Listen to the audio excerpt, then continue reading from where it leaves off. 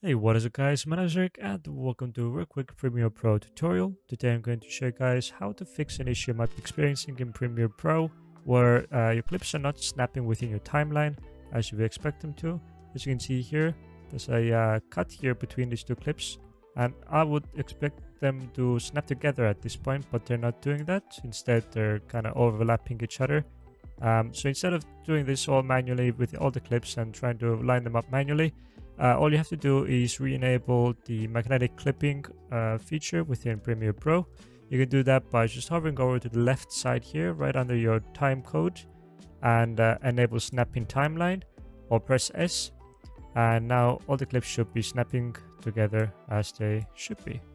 You might have accidentally pressed the S button or accidentally pressed the uh, snapping timeline button itself at some point, which is why it's no longer snapping for you. But yeah, that's it for today's tutorial. Hopefully it was helpful for you. If it was, please click that like button down below as it helps me out a lot. If you have any questions or other questions, then leave those in the comment section down below. And as always, don't forget to subscribe.